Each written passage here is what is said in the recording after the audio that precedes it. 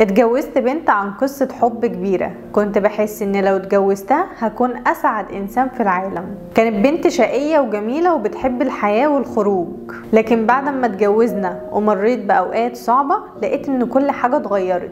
حتى أسلوبها كمان اتغير معايا. لقيتها طول الوقت بتشتكي. بعد ما كان الكلام ما بينا لقيتها بقت بتخرج كمان أسرار بيتنا بره. بقت تحكي لأصحابها وكمان بقت تحكي لأهلها. اتفاجئت. واتصدمت إن هي كمان بقت تقول مادام هو مش قادر إن هو يصرف على البيت اتجوز ليه من الأول.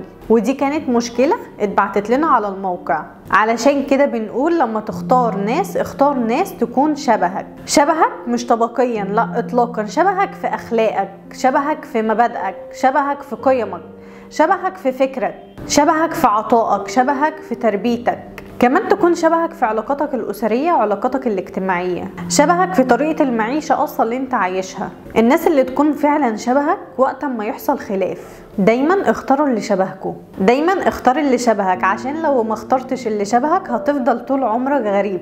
هتفضل طول الوقت تدور على اللي شبهك. في مقولة عجبتني جدا بتقول لا تسكب مشاعرك كلها مرة واحدة. فربما تكتشف بعدها أن الأناء مكسور. واستنونا في حكايات جديدة مع رانيا السيد حكايتي.